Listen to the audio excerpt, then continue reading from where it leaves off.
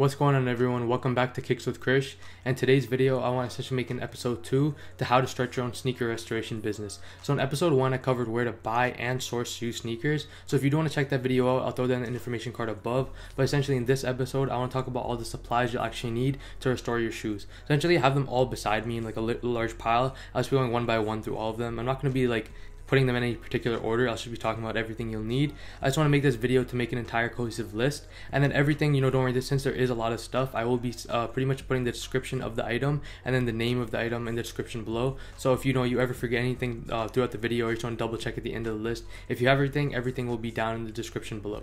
First supply I'll be talking about is Angelus Sole Bright. This is essentially a branded version of Salon Care 40.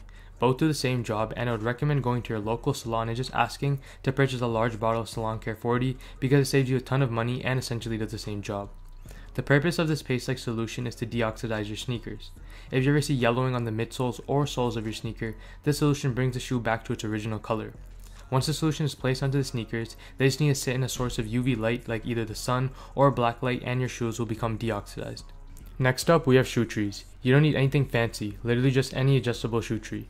These actually have two uses to them. The first is to keep the shape or reshape the shoe while you're scrubbing or cleaning the sneaker, and the second use comes when you're just storing the sneaker and you want to keep its original shape. Third up on the list is any type of clear matte spray finish. The entire purpose of this is when you're done repainting the shoe, you need to protect the paint job. This clear finish will do exactly that, and we get a matte finish so you can't tell the shoe is even sprayed, versus compared to if you got a gloss finish.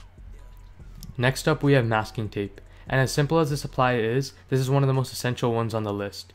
We use the masking tape to mask off any part of the sneaker we don't want to damage with paint, acetone, or any other solution. Since I just brought up acetone, let's talk about that next. Acetone is the chemical which is commonly found in nail polish remover, but is diluted in there so you should buy pure acetone instead for restoring sneakers. This is used to remove any old paint and the factory finish on a sneaker, and this gives you a clean canvas to start whenever you're doing your paint jobs. Next up, I'm putting contact cement and super glue in the same category because they essentially serve the same purpose just on different scales. Super glue is to repair smaller rips and pieces on the sneaker, while contact cement is heavy duty and for larger repair jobs like the entire sole of a sneaker ripping off. Next we have sneaker laundry bags. Again this may look like a pretty useless item but is essential and it makes your time a lot more convenient.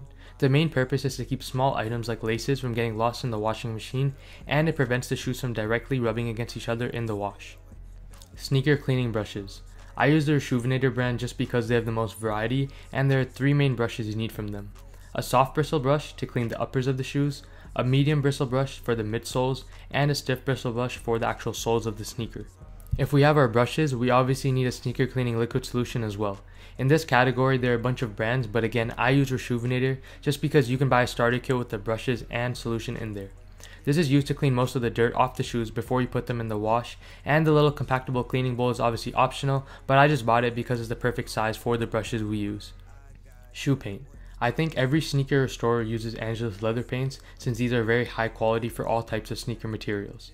I currently only have primary colors, but in the future, I'll make a video on how to color match and the color theory behind making new colors to get exact matches for sneakers. I have no idea why I bought so many cotton balls, but all these are for is literally just to apply the acetone on the sneaker without damaging the material and giving it an even coat. You specifically need microfiber towels because when you're cleaning a sneaker, it can get very soapy. And these towels absorb the most moisture, so you can easily wipe away the suds and see the areas you missed with a brush compared to a paper towel. Sandpaper.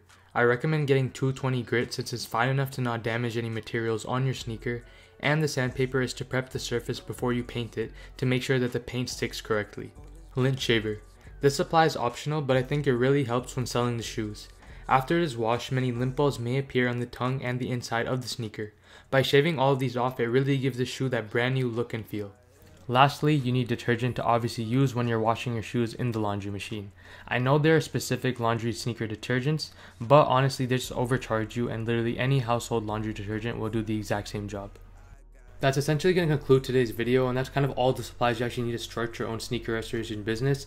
Next episode i'll talk about how you actually like my process of actually storing a shoe. Then we'll talk about marketing and scaling your business. But the one thing i didn't touch in today's video is actual prices. I paid for all of these. Since i was a beginner i did overpay for some stuff and then some stuff i could have bought in bulk. So if you are interested in getting the best price for yourself and you're actually interested in starting this business just dm me on instagram or message me on discord. I'll be more than happy to help you over there. But besides that i hope you found value and you learned something new today today's episode, and I'll see you guys in the next one.